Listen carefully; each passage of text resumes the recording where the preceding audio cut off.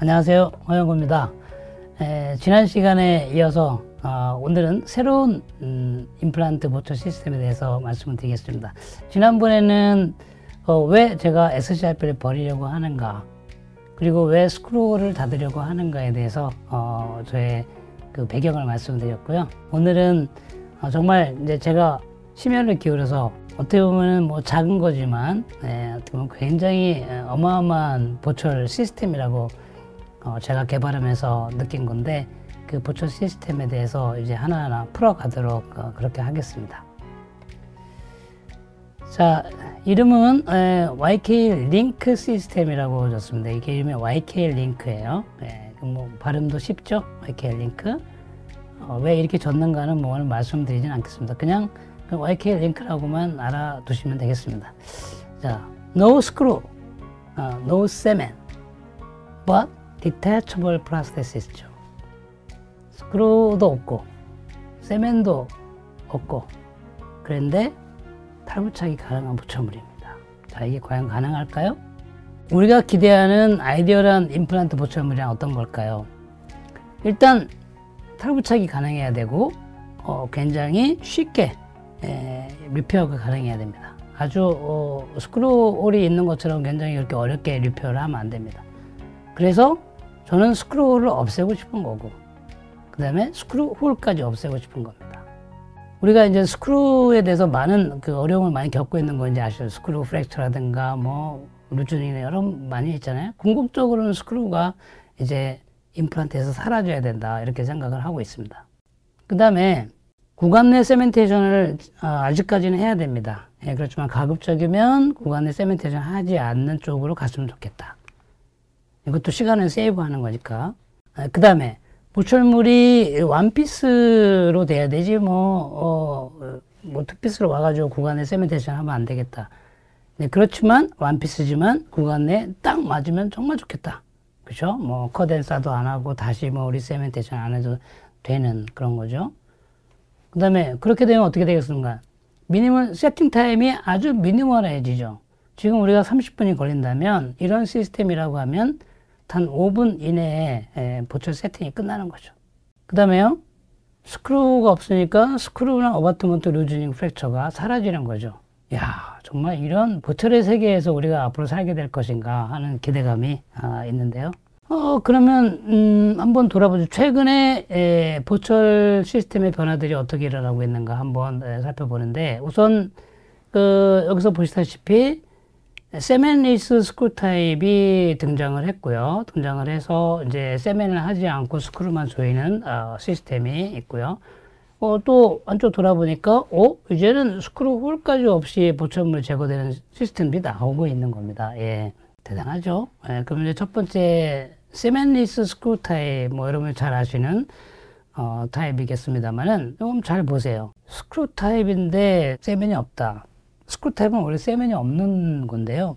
여기 보시면 abutment하고 보철물 사이에 screw가 없고요. 아무것도 존재하지 않아요. 그러니까 어, 보철물을 따로 만들어 와서 screw를 통해서 그냥 조이면 되는 거죠. 와, 그러니 어, 이것만 해도 굉장한 시스템인 거예요. 지금 요즘에 보면은 zirconia를 에, 그냥 abutment 연결할 수가 없잖아요. cementation을 해야 되는 거잖아요. 근데 이거를 하지 않겠다는 거니까 뭐 굉장히 어, 괜찮은 어, 이제 시스템이고 그래서 선풍적인 인기를 가져옵니다. 근데 이제 궁극적으로 이게 뭐냐 screw hole이 열려 있는 screw type이라는 거는 확실하죠 그죠 네, 그래서 아까 제가 얘기했던 screw hole을 없애버려야겠다라는 이런 그거는 지금 아직 해결이 좀 안 된 상태라고 보시면 되겠습니다 또 잘 보시면 어 single crown에는 뭐 이게 그 reasonable해요 왜냐면은 어 스크루 조이게 되면 보철물을 옆에서 이렇게 벌어지면서 벌어지면서 이렇게 딱 그 고정을 시키는 시스템이에요. 이렇게. 그래서 오 굉장히 어, 맞, 맞다 이렇게 생각이 됩니다. 근데 이게 이제 만약에 두 개, 세 개, 네개 프라치로 간다. 이렇게 생각을 해보세요. 그러면 저게 구간 내에 있는 어바트먼트와 위에 보철물이 또 정밀하게 맞아야 되잖아요. 그러면 어 이거 봐라. 그럼 임프레션이 정확해야 되고 모델이 정확해야 되고 부처물이 정확해야 돼. 어느 정도까지? 제가 보스턴에 있을 때 정말 밤을 새면서 cut and solder했던 바로 그거 10마이크론 이하로 맞춰야 됩니다. 네. 그렇지 않으면 어떻게 될까요? 조였어요. 그럼 이쪽에 안 맞잖아요. 그럼 이, 이쪽은 이쪽으로 밀 거 아니에요. 이쪽은 또 조이고, 또 이쪽은 또 이쪽에 안 맞아 이쪽 조이고, 이렇게 될 거 아니겠습니까? 어떻게 돼요? screw loosening fracture는 그냥 불 보듯이 뻔한 겁니다. 다 알고 있는 사실이죠. 그러면 그렇게 안 되기 위해서 어떻게 해야 돼요? 어마어마한 또 정밀 보철이 요구되는 겁니다. 네. 이 뭐 single crown 하나는 뭐 아무것도 아니 괜찮아요. 근데 multiple로 갔을 때 얘기죠. 또다시 그 screw type의 악몽이 시작되는 건데 이거 예, 과연 솔루션일까요? 이런 생각을 하고 있는데 물론 그래서 제가 많이 물어봅니다. 그 어, 기공사들한테 예, 죽음이랍니다. 예, 저거 아무 문제 없이 딱 구간에 세팅 시키려면요 완전히 죽음이랍니다. 그 다음에 질코니아예요. 그러면 커덴 사더가 됩니까? 안 되죠. 다시 만들어야 되죠. 예, 안 맞으면 뭐 방법이 없어요. 이걸 보정할 방법이 없어요. 어디 깎아서 맞춘다? 이게 안 되는 거죠. 그러니까 결국에 screw loosening fracture가 계속 일어날 수밖에 없고 그러다 보니까 어떻게 해요? 무지무지하게 정밀한 impression 뭐 이런 과정들이 필요하게 되, 됩니다. 그래서 아, 좀 아쉬운 부분은 어, 있습니다. 뭐 세멘을 쓰지 않겠다고 하는 건데 에, 역시 그러기 위해서 굉장히 많은 희생을 또 가져와야 되는 거 아니냐 이런 어, 저의 악몽을 이제 다시 어, 된다. 그래서 저는 뭐 이거는 절대 안 할 겁니다.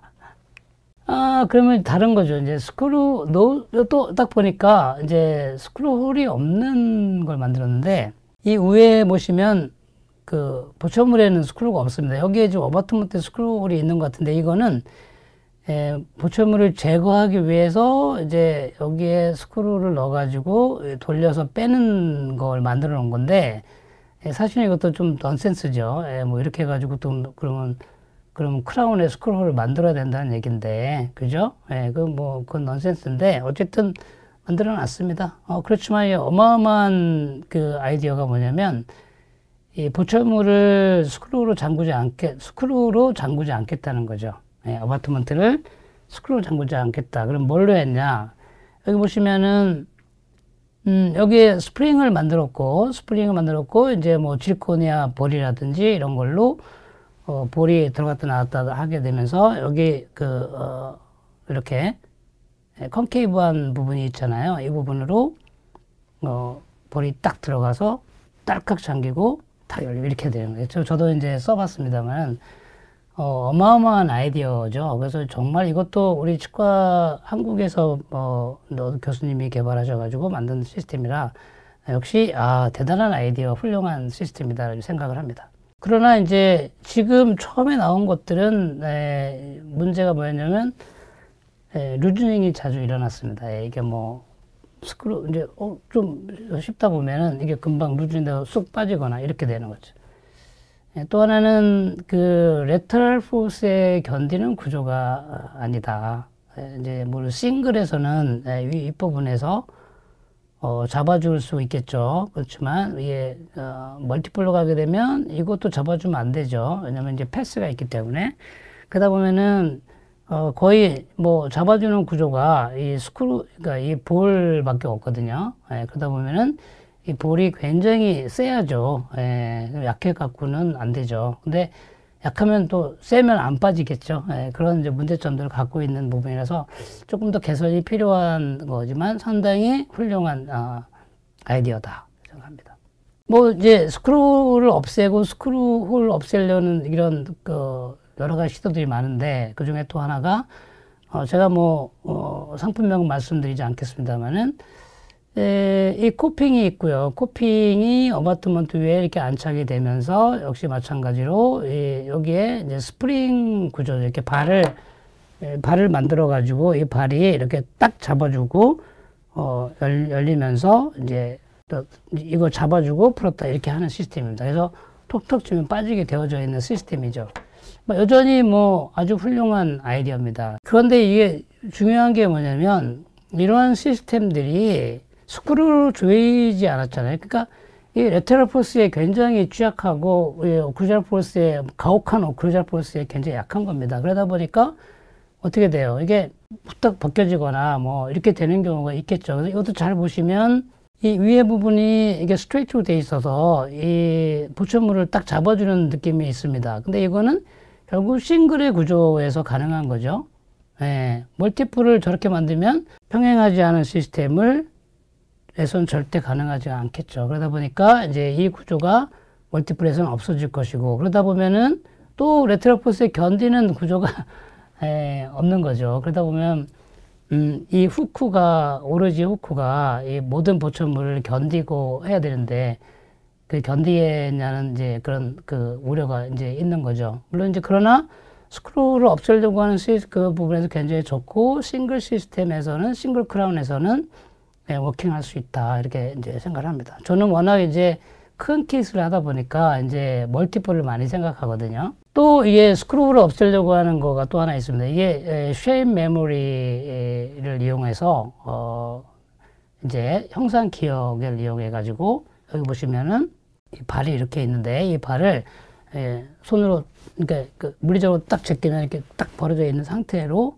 어, 구간 내에 있으면 예, 크라운이 빠지지 않겠죠, 이게. 빠지지 않겠죠. 그리고 캡이 있고, 그 캡 위에 크라운을 이제 cementation 하고, 결국에는, 에, 이게 왔다 갔다 하는 건데, 에, 이 부분이 이제 잡아줘야 되는 거죠. 그러니까 여기서 딱 벌어지면, 아, lock을 딱 걸고 있는 거잖아요. 그러니까 보초물이 빠지지 않겠죠. 자, 여기서 이제 뭐냐면, 크라운이 움직이면 안 되죠. 움직이면 안 돼. 그러니까 마이크로 모먼트도 뭐, 뭐, 어느 정도지. 이게 막 움직이면 되겠습니까? 그러니까, 그안 되죠. 그러니까 굉장히 정밀하게 만들어져야 됩니다. 이게 예. 딱 락을 걸고 있어야 어, 되는 거죠. 근데 이게 어떤 열을 가하게 되면 어, 이 발이 이게 안으로 쑥 들어오는 거예요. 예, 쑥 들어가서 어, 보충을 뺄 수 있는 거죠. 이게 지금 이제 인덕션 테크놀로지 그래가지고 어, 여기다가 이렇게 되는 거죠. 되, 면 열이 여기 여기 열이 가해집니다. 근데 그 열이 꽤 어, 뜨겁더라고요. 그래서 야, 이것도 뭐 구간 내에서 괜찮겠나 싶긴 한데, 어쨌든 이제 그렇게 되면은 그 열에 의해서 얘가 원래 모양 딱 돌아옵니다. 그래서 저도 해보니까 이게 빠지는 걸 봤습니다. 근데 이제 그 스크루가 없죠. 아주 훌륭한 네, 시스템이고 이것도 역시 한국 사람이 만들었습니다. 물론 미국에 회사가 있습니다만 그 스트라만이 여기에 투자해가지고 또 이렇게 뭐 밀고 있고요. 그러니까 이게 스크루가 없다 보니까 어떤 게 되냐면 full arch가 가능해지는 거예요. full arch. all-on 4, all-on 6, 뭐 이런 게 다, 다 되는 겁니다. 예. 뭐, 어, 스마일 락이라고 하는 건데, 이름이. 자, 그래서, 이야, 대단하다. 저게 이제 그 게임 체인전에 세상을 다 바꿔버리겠네. 보초계를. 이렇게 생각을 하고 이제 저도 어, 긴장을 했습니다만은 사실은 저거 시스템 개발될 때 뭐 저도 이제 예, 따로 우리가 제 걸 개발하고 있었으니까 이제 이거 시스템은 제가 이제 어느 정도 알고 있지만 저는 여기에 조인하지 않았어요. 예, 왜냐면 제 my way 예, 내 길을 가야 되기 때문에. 근데 이거 이제 최근에 예, 이걸 연구하는 미국 교수한테 가서 물어봤어요. 이거 잘 되냐 그랬더니 그 교수가 하는 말이 아, 안 된다는 거죠. 그래서 왜 그랬더니 야, 어떨 땐 되는데 어떨 땐 안 돼요. 그래서 왜 그랬더니 아니 얘가 발이 돌아와야 되잖아. 근데 안 돌아온다는 거야. 그 생각해 보세요. 왜 안 돌아오겠어요? 꽉 물려 있잖아요. 그러면 얘가 힘을 엄청나게 발휘해가지고 이걸 잡아 당겨야 되는데 그 형상 기하학금이 그 정도의 힘이 생기는 건 아니거든요. 그러니까 그러면 어떻게 해야 돼요? 이걸 느슨하게 해줘야 되죠? 그러면, 그럼 뭐야? 크라운이 루즈해질 거 아닙니까? 이런 근본적인 문제들을 가지고 있다는 것, 야, 어마어마하게 훌륭한 그 아이디어긴 한데, 임상에서 어, 개선할 점들이 상당히 많이 있다. 이런 생각을 저는 하고 있습니다. 예, 새로운 보철 시스템, 예, 네오바이오텍에서 나온 새로운 보철 시스템, YK 링크 시스템이죠. 어, 로고가 조금 특이한데, 어, YK인데 그 안에 N자가 들었죠. 그 N은 네오바이오텍을 의미합니다. 그래서 어, 절묘하게 예, YK에 예, N을 이렇게 집어넣어서 아, YK는 네오다라는 것을 보여드리고요. 어, 이것은 역시 예, 임플란트 보철계의 예, 게임 체인저가 될 것이다. 어, 저는 이렇게 생각을 하고 있습니다. 기대가 좀 어, 됩니다. 네. 제가 임상을 좀 많이 좀 해보고 있습니다. 한 2년 정도 지금 됐는데 에, 제가 기대했던 거 이상으로 어, 잘 되고 있어서 어, 여러분들께 좀 자신 있게 말씀을 드리고 있습니다. 그래서 YK 링크 시스템에 대해서 이제 어, 본격적으로 들어가 보도록 하겠습니다. 네, 결국에 이 위에 그 뭔가 좀 특이한 구조를 가지고 있고 어, 그것이 이제 그 위에 크라운이 씌워지는 어, 이런 형태의 시스템이 되겠는데요.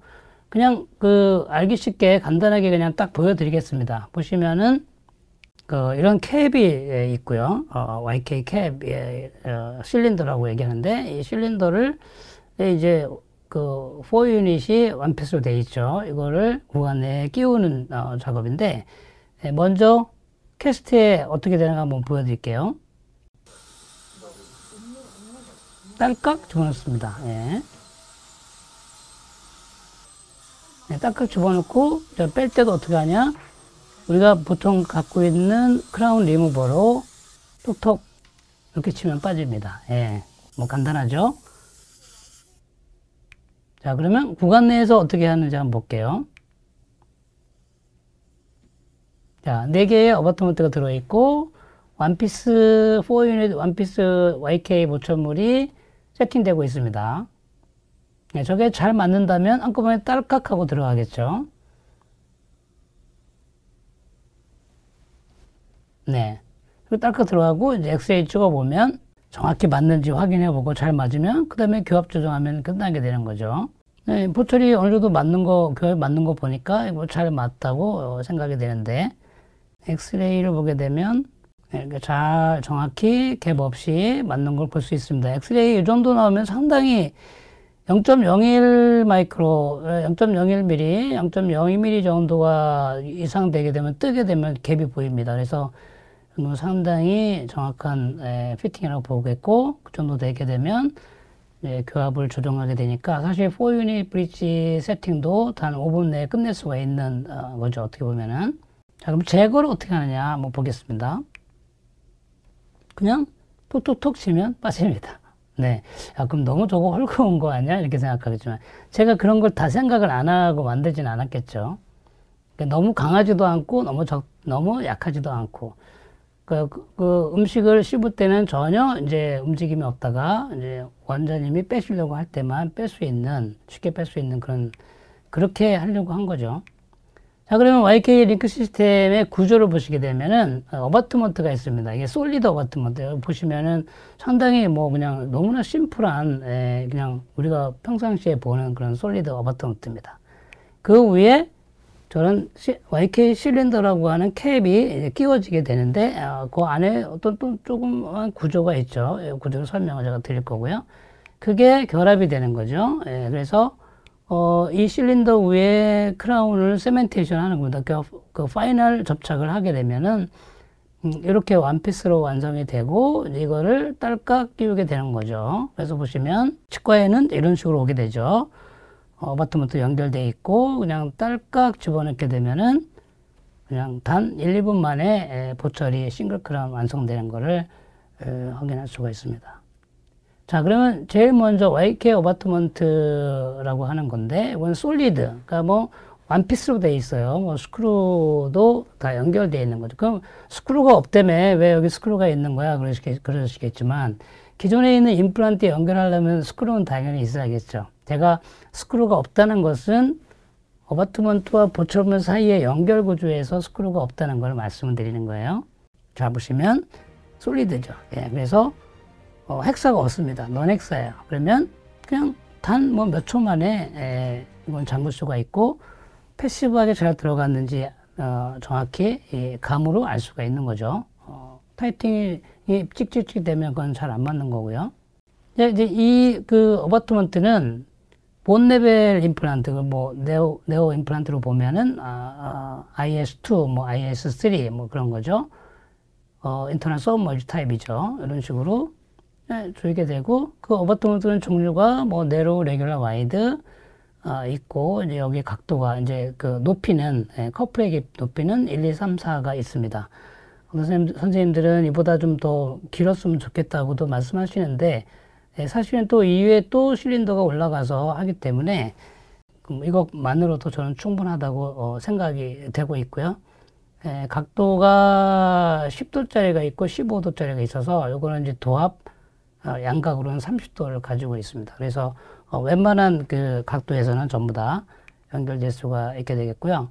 어, 이렇게 bone level 임플란트 말고 그 다음에 이제 ITI 시스템, 그러니까 tissue level에서도 어, 이제 호환되게끔 만들었죠. 어, 네오바이오텍은 IT라는 어, 임플란트인데 이런 식으로 위에 얹어지는 거죠. 그래서 위에 이제 stop이 있는 것이 tissue level이고 어, 그다음에 그 코니칼 실에 의해서 되는 거는 이제 뭐 internal internal submerged type, internal type이라고 얘기 얘기를 하죠. 한국에 우리나라에서 어, 쓰고 있는 어, 대부분의 임플란트, 뭐 어, 임플란트 시스템들이 굉장히 많지 않습니까? 그 임플란트 모든 internal 임플란트 시스템에는 이게 각도가 11도를 대부분 다 갖고 있기 때문에 그 각도에 에, 뭐든지 호환이 되게 돼 있습니다. 그래서 어, 선생님들이 쓰고 있는 어떤 임플란트에도 한번 시도해 볼수 어, 있는 거기 때문에 에, 그렇게 호환되도록 만들어져 있습니다. 이제 헥사는 없으니까 넌헥사로 되니까 어, 되게 이제 어, 대부분이 호환이 되고요. 뭐 ITI 시스템도 마찬가지예요. 어, 웬만한 거는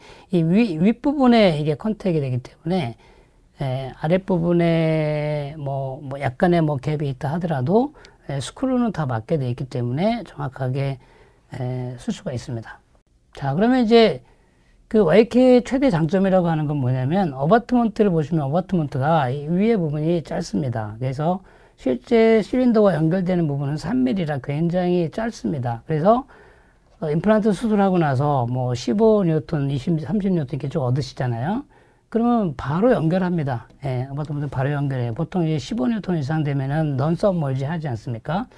그래서 그 상태에서 만약에 15뉴턴이면 15뉴턴을 잠그고 30이면 30으로 잠그고 40뉴턴이면 30뉴턴 잠그고 보통 우리가 30뉴턴을 기준으로 잡고 30에서 40 사이에 잠그는데 보통은 30뉴턴이에요. 이렇게 잠그시고 이 커프가 이제 결정이 되죠. 준지바의 높이에 따라서 커프를 설정해서 이거를 연결을 시키면 뭐 그냥 수술하고 바로 그냥 어바트먼트에 연결되는 거죠. 이 상태로 뭐 3개월, 6개월 이상 다 기다릴 수가 있는 겁니다. 그 위에 캡이 있습니다. 그 캡을 왜 꽂게 되면은 휴처가 가능하죠. 이것을 뭐 스캔 캡이라고 하는데 이걸 그대로 위에서 스캔을 어, 언제든지 어느 때나 요즘에 이제 디지털 시대이기 때문에 언제든지 뭐 스캔이 가능하죠. 그러니까 어버트먼트를 한번 잠그면 풀을 이유가 이제 전혀 없게 되는 거고요. 위에만 캡만 꺼냈다 했다 보철물이 완성되는 겁니다. 자 이제 이게 메탈 scan cap도 있지만 어, 조금 지나면 이제 플라스틱 어, healing cap이 abutment와 같이 동봉돼서 나오기 때문에 이거를 뭐 구매할 필요는 어, 없게 될 수 있습니다. 그러나 이제 스캔을 하고 싶을 때는 이 scan cap이 필요, 어, 지금 현재까지는 필요하다고 볼 수 있겠습니다. 자, 이 정도로 해가지고 YK abutment에 대해서는 말씀을 드리고 그 위에 올라가는 실린더가 굉장히 중요한 역할을 이제 하게 되는데요. 이게 이제 가장 핵심이고 가장 노하우라고 할 수 있습니다. 네, 보시게 되면은 뭔가 여기가 이게 어, 이런 구조를 가지고 있잖아요. 이게 그 후크 구조를 가지고 있으면서 엘라, 엘라스티시티가 있는 구조를 가지고 있죠. 보시면 바로 이겁니다. 예. 자, 위에서 이 캡으로 어, 어바트먼트를 딱 잡아주는 외부 어, 이런 코, 코너스 그 구조가 있고요. 이 구조가 있고 내부적으로 이제 또다시 헥사나 넌헥사의 구조를 다시 가지고 있으면서 리텐션은 에, 이 후크에 의해서 네 개의 발, 네 개의 후크에 의해서 어, 이게 이것이 좁혀졌다, 넓혀졌다 하면서 언제 딱 잡아주는 역할을 하게 되는 거죠.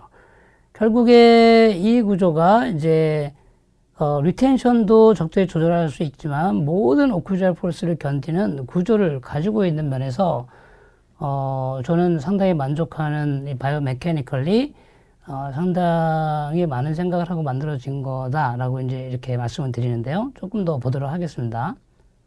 근데 이제 요, 이 구조는, 어, 고탄성의 나이타일, 우리가 좀 알고 있는 나이타일, 형상 기억가끔의 나이타일을 그 저희가 어, 채택을 했고 어, 가공이 상당히 어렵고 뭐 자그마한 걸 가공해야 돼 굉장히 어렵고 또 정밀성을 요하는 거기 때문에 에, 선생님들이 그, 그 부분을 아 이게 쉽게 루즈해지거나 이런 부분이 없이 아주 오랫동안 버틸 수 있는 구조를 가지고 있다고 할 수 있겠습니다. 그래서 보통 우리가 15뉴턴 정도 되게 되면 우리가 이제 손을 빼기가 어려운 정도가 되고요. 보통 20 정도에서는 뭐 오크리알 폴스에 다 견디고 특히 이런 버티컬 스탑이 있기 때문에 뭐 오크리알 폴스는 무조건 견디는 거고 레테럴 폴스에 얘가 견디냐 아까 제가 말씀드렸지만 굉장히 견딜 수 있어야 되지 않습니까? 아니면 이게 벗겨질 거니까 그런 거를 다 3mm의 예, 작은 예, 높이에서도 이거를 다 견디면서 그 다음에 각도를 가지고 있기 때문에 또 연결할 수 있는 예, 이게 이제 굉장히 어려운 어 그런 구조 그 이제 설계라고 할 수 있겠는데요. 그래서 리텐션도 우리가 조절이 가능하지만 아, 크게 뭐 조절할 필요 없이 예, 저절로 다 이제 가능하다라는 말씀 드립니다. 예, 그 보시면은 예, YK 실린더에 이제 뭐, 뭐, 어, diameter가 narrow, regular, wide가 있고요. 뭐, narrow는 어, 주로 하악 전치, 그 다음에 regular는 뭐 상하악, 전치, 그 다음에 소구치, 어, 그리고 wide는 이제 뭐 구치부, 이렇게 생각하시면 되겠고, 그 abutment가 그렇게 있, 있잖아요. 그리고 그러기 때문에 거기에 맞는, 네, 이제 hexa와 non-hexa 구조를 가지게 되겠는데, 이제 hexa는 이제 single crown 할 때 쓰는 거고요. non-hexa는 multiple이죠. 두 개 이상 연결할 때는 무조건 이제 non-hexa를 쓰게 되고, 어, 이건 길이죠. 실린더의 길이가 4, 5, 6에 있고요. 어, 아무리 crown이 길다 해도 6mm 정도의 여기 보시면 이게 groove가 아주 micro groove가 존재하기 때문에 우리가 final cement를 쓰게 되면은 어, 절대 빠질 수 없는 에, 그런 구조를 만들어 놨습니다. 어, 물론 에, 요거의 각도는 이제 7도 각을 가지고 있어요. 이제 그 양각으로 14도죠. 구조학적인 설계를 봤을 때 상당히 안정되고 어, 크레퍼스를 다 견디도록 만들어졌다. 그러면서 어, 짧은 것도 있고 긴 것도 있고 이 이상 더 길 필요는 없다. 뭐 어떤 crown이 길어도 어, 다 이거는 견딜 수 있다. 이렇게 생각합니다. 이 실린더를 이제 딸깍 집어넣게 되면 어, 잠기는 거고 그거를 핸들링 할 수 있는 어, holder가 어, 이렇게 있습니다. 이거는 스크루로 잠그는 게 아니라 이게 90도로 넣었다가 90도로 딱 잠근 다음에 뺐다 꼈다 하는 구조로 되어 있는데요. 어, 그렇게 안 하고 손으로 그냥 어, 구강 내에 딸깍 손으로 그냥 꽉 예, 누르면은 들어가는 구조가 되어 있는 거죠. 아니 뺄 때는 아까 같은 어, 저 홀더를 이용해서 뺄 수 있는 거고. 좀 구간 내에서는 뭐 한 번 끼면은 뺄 일이 없으니까 바로 세멘테이션 들어가거나 완피스를 만들어 오기 때문에 뭐 저런 구조는 잘 보기가 어렵게 될 겁니다. 이제 완피스를 만들어 오면은 실린더는 외부 구조는 아예 보지도 못하게 될 거죠. 근데 이제 보시게 되면은 그럼 이제 보철물은 어떻게 되냐? 실린더는 그렇다 치고 그럼 보철은 자 이제는 뭡니까? 보철은 그냥 일반 cement type 보철이죠. 그러니까 screw hole이 없는 cement type인 거죠. 그러면 이제 이걸 어떻게 만드냐? 아까 제가 얘기했듯이 펑퍼짐하게 oversize casting을 하든지 oversize milling을 해서 그냥 이게 헐겁게 들어가게 만들고 아, 그거를 이제 모델상에서 cementation 하든 구강 내에서 cementation 하든 이렇게 할 수 있는 예, 뭐 다양한 그 방법이 있다고 생각하시면 되니까 보철을 만드는 거는 기존과 똑같이 만들면 된다. 그러니까 전혀 걱정할 필요가 없다라는 거죠. cementation 방법에 있어서 보시면은 우리가 이제 외부에서 cementation 할 수 있잖아요. 그래서 우리가 모델이 있잖아요. 그 모델 위에 그냥 cementation 하면 되잖아요. 자, 이거 전제는 뭡니까? 모델이 정확해야 된다. 아까 몇 마이크론? 10마이크론 이내에 갭을 허용하는 정도에서 정밀해야 된다라는 거죠. 자, 그렇지 않다고 생각되면 어떡합니까? 구간 내로 가야죠. 구간 내에서 세멘테이션 해야죠. 그러면 이제 어려움이 있죠. 세면을 제거해야 되는 그런 어려움은 또 하나 갖고 있습니다. 둘 다 공이 그 strongest resin cement를 사용합니다. 그래서 뭐 절대적으로 내가 washout 안 되는 그런 어, 강력한 cement를 사용하게 되죠. 자, 어떻게 제거를 합니까? 아까 보여드렸죠? 우리가 hook를 이제 리무, 리무버, 크라운 리무버 후크 구조 multiple인 경우에는 그 이제 proximal 그 space에 집어넣어 가지고 톡톡톡 치면 예, 빠지게 됩니다. 자, 그러면 어떻게 되는지 한번 볼까요? 예, 딸깍 끼는 거고요. 딸깍 끼는 거고 절대 흔들리지 않고 굉장히 stable하죠. 이 상태에서 뺄 때는 hook를 걸어서 톡톡톡톡 이렇게 치면은 빠지게 됩니다. 자, 그러니까 얼마나 간단하게 이 보철물을 제거할 수 있냐. 그 screw type에 비해서 한번 상상해 보시면 예, 어마어마한 차이가 있다라는 거죠. 예, 이 구강 내에서 아까 보여드렸던 단뭐 10초 내에 어, 뺄 수가 있게 되죠. 네, 이렇게 쉽게 뺄 수가 있게 되는 겁니다. 자, 아까 말씀드렸지만 어바트먼트를 구간 내에 이미 연결하고 나면 더 이상 뺄 필요가 없다 그랬잖아요. 그러다 보니까 어떤 장점이냐면 소프티슈 실이 아, 유지가 되는 겁니다. 보시면 어, 보통 이제 이렇게 어바트먼트를 SCRP 같은 경우는 다 뺐다 꼈다 하기 때문에 뭐 뺄 때마다 뭐 이제 본너스가 일어나거나 이런 소프티슈 실이 깨지는 부분이 있는데 이 YK는 아, 그 부분을 안정되게 유지한 적어도 1.5에서 2mm는 아, 이제 티타늄이 딱 유지하고 있다라는 거고요. 그 위에 에, 소프티슈가 얼마가 있든지 간에 저는 이제 그 어, 질코니아 서피스로 질코니아 표면으로 마진을 들어가서 여기서 그 에머전스 프로파일을 이렇게 만들어야 된다고 생각합니다. 네, 제가 왜 이렇게 얘기하냐면 선생님들 질코니아의 서피스하고 그 다음에 티타늄의 서피스하고 생체 친화성이 어떤 게 더 좋다고 생각합니까? 티타늄이요? 질코니아요? 선생님들 한번 보시면 네, 티타늄의 어바트먼트를 한번 가끔씩 빼보시면 야 이렇게 지저분하고 어, 이렇게 거기에 plaque이 많이 껴있는가 하는 걸 아마 느끼시는 경우가 있잖아요. 그게 다 박테리아잖아요 이게 들어가는 거거든요. 근데 여러분들 zirconia crown이 안에 들어가 있어 이거를 여러분이 빼보신 적이 있으세요? 한번 빼보시면요 깨끗합니다. plaque이 안 껴 있습니다. 이거를 강조하시는 선생님이 그렇게 많지는 않으신데 어, 저는 이거를 어, 봤고요. 그래서 이 마진을 어디다 설정해야 되는가 되게 중요한데 아니 이런 질코니아라고 하는 어마어마하게 훌륭한 재료가 있다. 이거를 우리가 하이팔리싱 해가지고 잇몸 속에 집어넣으면 소프티슈가 어마어마하게 건강해진다라는 거죠. 그래서 위에가 위에서 이렇게 딱 잡아주면 이 밑에 부분에 요거 1mm에서 1.5mm 여기까지 이 플렉이 들어가지가 않거든요. 그러니까 이 그 티타늄의 서비스도 그대로 깨끗하게 유지되고 위에도 깨끗하니까 이런 티타늄 그러니까 페리 임플란타이트에 생길 수 있는 확률이 아주 적은 겁니다. 예. 근데 여기 이 마진이 진주바 속에 들어있어서 이게 문제가 되는 거 아니냐고 생각하지만 에, 저는 그렇게 생각하지 않습니다. 그거는 굉장히 마이너한 거고요. 갭도 거의 없을 뿐만 아니라 굉장히 마이너한 것이고 그 정도는 생체에서 전부 다 소화해낼 수 있는 거라고 생각합니다. 문제는 바깥에서 들어오는 거죠. 그래서 제가 1.1mm에서 1.5mm를 얘기하는 겁니다. 자, 그 다음에 이제 soft tissue, 어, 이제 abutment를 왜 solid abutment로 선정했냐라는 건데요. 이렇게 뭐, 어, IS라든가, 뭐, IT라든가, 뭐, internal submerged, 아니면 tissue level, bone level, 공이 solid abutment입니다.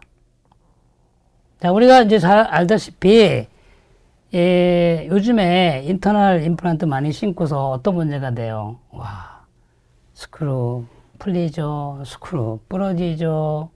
보세요. 거기다 또 설상가상으로 abutment가 부러지네요. 와, 이거는 뭐 황당합니다, 이게. 황당해요. 그럼, 그러면 이거 매니팩처러, 이거 네오 임플란트, 네오 바이오텍에서 잘못해가지고 이거 부러지냐, 이거 모르네라고 이제, 에, 그러실 건데 정말 죄송합니다. 제가 좀 더 안 부러지게 잘 만들어야 되는데 그러지 못해서 정말 죄송합니다만 네오바이오텍 임플란트만 부러지는 게 아니라 전 세계에 있는 모든 임플란트가 부러지는 겁니다. 아바트먼트가.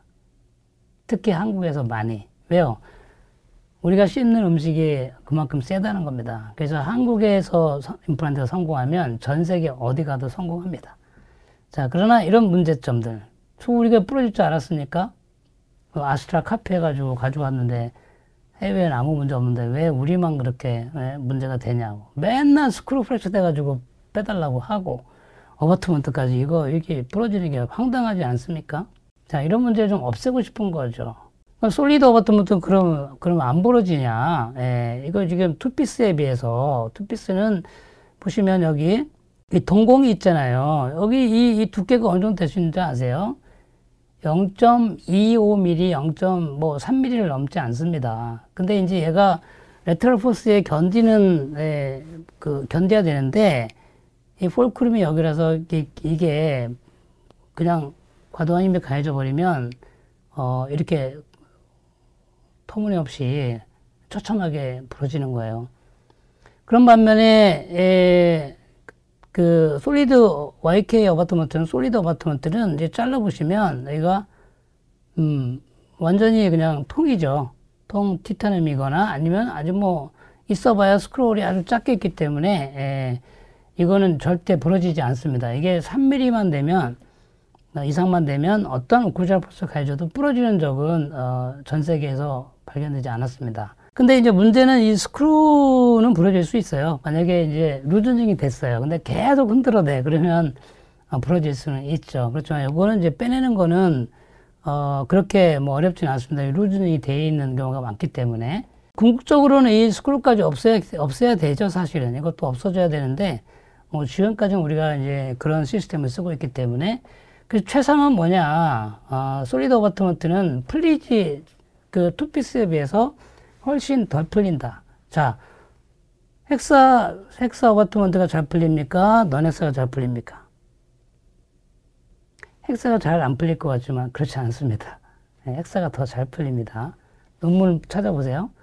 그럼 non-hexa가 잘 안 풀린다는 거죠. 그만큼 많은 surface를 가지고 있고, 그러니까 한 30뉴턴 정도 잠그고 나면은 이제 웬만한 거에는 안 풀리는데, 우리가 이제 세멘 타입으로 위에다가 해놨을 때 풀렸을 때는 얘가 이제 딸깍거리고 이거를 빼내는데 죽음이잖아요. 그래서 solid abutment를 안 썼거든요.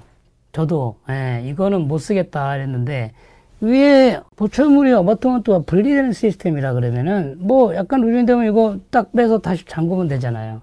그렇기 때문에 이 솔리드가 많은 장점들을 다시 부각시킨다 이제는 예, 보철 시스템이 바뀌었기 때문에 그게 가능한 겁니다.